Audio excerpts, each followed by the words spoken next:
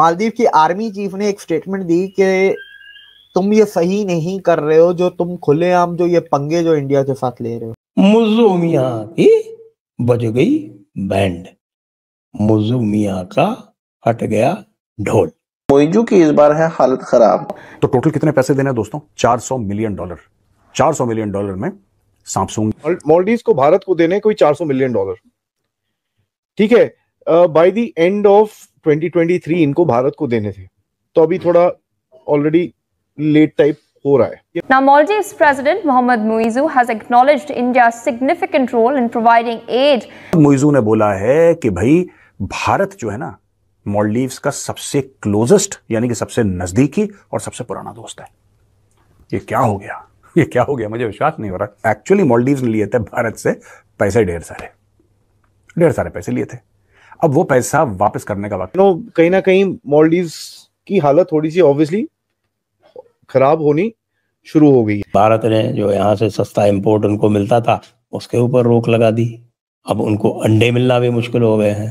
बाकी सब्ज़ियाँ वब्जियाँ आलू वालू तेल वेल ये सब अब उपलब्ध नहीं है आसानी से। मंगाओ जहाँ से मंगाना हो चीन से मंगाओ। या अब ये 400 मिलियन डॉलर लाए कहाँ से मॉलडीव्स ये वो देश है जिसने पाँच मिलियन डॉलर के लिए सिर्फ़ पाँच मिलियन डॉलर के लिए इसने you know what they did you will be shocked इन्होंने पूरा का पूरा एक आइलैंड दे दिया चाइना को पचास साल के इस बंदे की जो हरकतों में, जिसको कहते हैं ना, ये हरकत इसकी थी, कांटे जैसी ये मलाई बन गई, उसके पीछे कारण मैं आपको बताता हूँ। मोहम्मद मुइजू ने बोला है कि भाई, भारत जो है ना मॉलडीव्स का सबसे क्लोजेस्ट यानी कि सबसे नजदीकी और सबसे पुराना दोस्त है। ये क्या हो गया? ये क्या हो गया? मुझे विश्वास नहीं हो रहा। इसको, ये मैटर क्या हो गया? मुइजू के साथ। अब मैं आपको बताता हूँ मैटर क्या हो गया। एक्चुअली मॉलडीव्स ने लिए थे भारत से पैसे ढेर सारे। ढेर सारे पैसे लिए थे।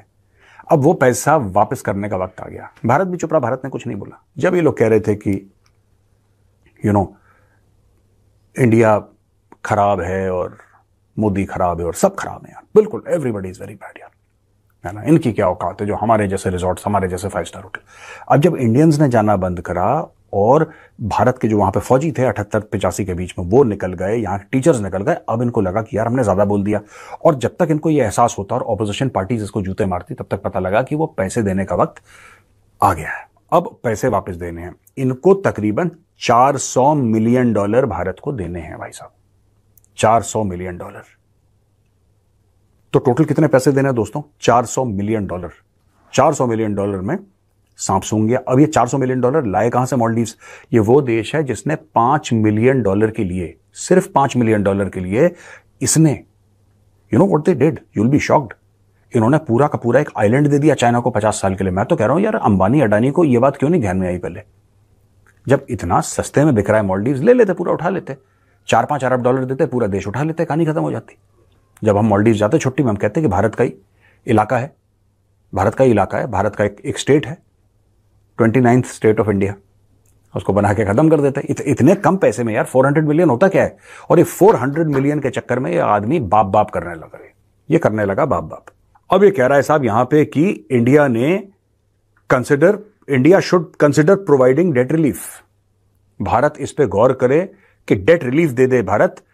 400 मिलियन डॉलर जो इंडिया को देने हैं। और अब इसका यह कहना है कि भारत जो हमारा इतना निकट दोस्त है भारत जो हमारा इतना करीबी भाई है, भारत जो हमारा दिल का टुकड़ा है, हमारे जिगर का टुकड़ा है, क्या वो सिर्फ़ 400 मिलियन डॉलर भूल नहीं सकता? क्या इतना मुश्किल है भारत के लिए? क्या भारत का इतना बड़ा दिल नहीं है कि अपने भाई मॉलडीव्स अपने छोटे भाई मोहम्मद मोइजू, के इतने कर्जे माफ़ नहीं कर सकता? मैं बता रहा हूँ, इसमें हुआ क्या होगा दोस्तों? मैं जो गैस कर रहा हूँ, ये ना कपटी किस्म का आदमी है। मोइजू जो है ना, बहुत बदमाश है।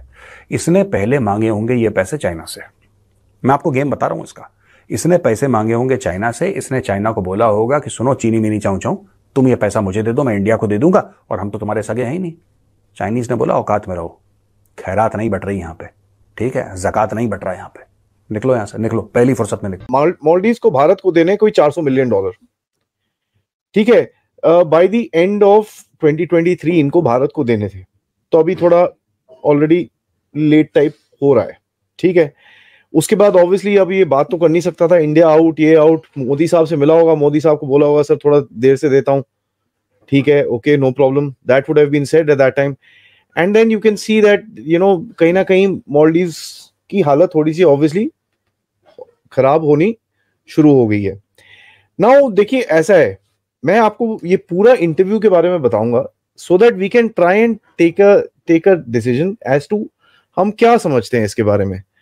What can we understand with this entire game, right? So, let's look at it a little थोड़ा सा विद कीन आई इन्होंने बोला कि साहब, मैंने कोई ऐसा एक्शन ही नहीं लिया। मेरी गवर्नमेंट ने ना मैंने कोई ऐसा एक्शन नहीं लिया कि भारत के साथ रिलेशनशिप्स खराब हो। इंटरेस्टिंग ठीक है, उसके बाद कहते हैं कि साहब, ये देखो, जब जो मुझे बात करना पड़ रहा है भारत से, ये इसलिए है क्योंकि जो प्रीवियस गवर्नमेंट जो हमको कंडीशन छोड़ के गई थी, वो उनका डेट है। तो मैं क्या करूँ? मेरे को तो भारत से काम करना पड़ेगा। एग्जैक्टली वॉट ही सेड तो चेंजेस ट्यून के ऊपर एक क्वेश्चन मार्क यहीं पे लग जाता है। कहता है जी, जो रीपेमेंट स्ट्रक्चर बनाया था, जो लोन बनाया था, मैं क्या करूँगा? मैं कोई प्रोजेक्ट रोकना नहीं चाहता जो भारत यहाँ पर डेवलपमेंट चीज़ कर रहा है। मैं उसको रोकना नहीं चाहता बट मैं क्या करूँ? मैं इस सिचुएशन में फंसा हुआ हूँ। उसके बाद कहते हैं कि देखो, ऐसा है ऑब्वियसली अब जब मॉलडीव भारत की बात आती है तो ट्रूप्स की बात आ जाती है। ठीक है? तो ट्रूप्स के बारे में ये कहते हैं कि देखिए, हमारा ऐसा है कि हमारा जो एक रिलेशनशिप है, ये बहुत खराब हो गया ये ट्रूप्स के चक्कर में। एंड मेरा जो एक नज़रिया है, ये मॉलडीव के मुइजू कह रहे हैं, कहते हैं कि जब मेरा जो एक नज़रिया है मॉलडीव को आत्मनिर्भर बनाना है सेल्फ सफिशिएंट बनाना है।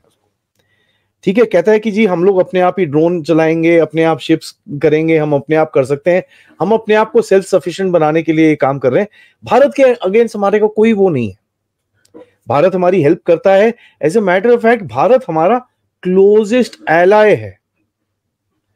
ये है मॉलडीव के मुइजू अब बोलते हैं ना, भागते भूत की लंगोटी पकड़ो, वैसी वैसी ये ट्राई कर रहे हैं। तो भैया इकोनॉमी कोलैप्स होने वाली है। इकोनॉमी कोलैप्स होने वाली है। पार्लियामेंट के इलेक्शन आ गए उनके। और पब्लिक जो है, वो गालियाँ दे रही है बुरी तरह से मुजू को। और तो मुजू जो है, वो कल स्टेटमेंट देता है कि भारत तो हमारा जो है, वो सबसे नजदीकी एल है। दोस्त है हमारा। ये मुजू मियाँ बोल रहे हैं। मुजू मियाँ किसी को मोतिया ना समझो।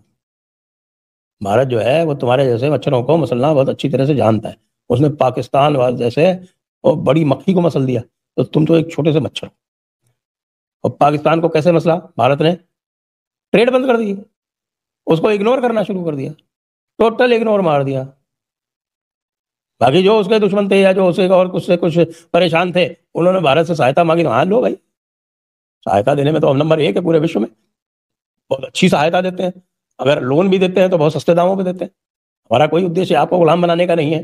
जो चीन का उद्देश्य है कि आपके पूरे के पूरे अर्थव्यवस्था को गुलाम बना लिया जाए, ऐसा हमारा कोई उद्देश्य होता नहीं है। तो इसलिए लोग हमसे जनरली प्रसन्न रहते हैं, लेकिन कई बार उनको लगता है कि अच्छा मुसलमान देशों को लगता है इस्लाम सुपीरियर है, ये मुशरकिन है, और ये हमसे जो है वो गिरे पड़े हैं, इनके ऊपर हमारे आका ने हुक्म दिया था कि इनको जो है हमें बहुत सख्ती दिखानी है। तो वो कभी कभी आ जाते हैं, उसके लेकिन बाद समझ में आता है कि भैया, वो चौदह सौ साल वाले पुराने जमाने गए, अरबों को तो समझ में आ गया। ये जो कन्वर्ट है, इनको समझ में नहीं आया। मुजू वाले भी कन्वर्ट है सारे।